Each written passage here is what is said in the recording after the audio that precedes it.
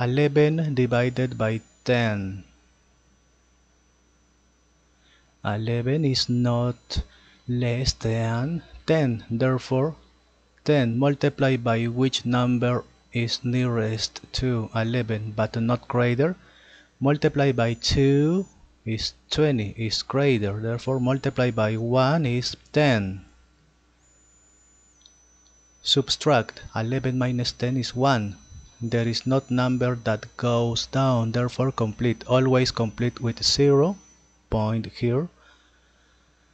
10 10 multiplied by which number is nearest to 10 but not greater multiply by 1 is 10 exact. Subtract 0 0 therefore finish. Therefore okay